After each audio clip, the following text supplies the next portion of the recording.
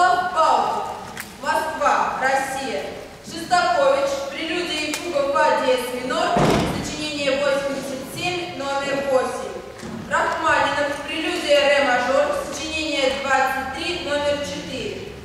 Прелюдия соль мажор, сочинение 32, номер 5. Прелюдия соль минор, сочинение 23, номер 5. Прокопьев, этюд до минор, сочинение 2, номер 5.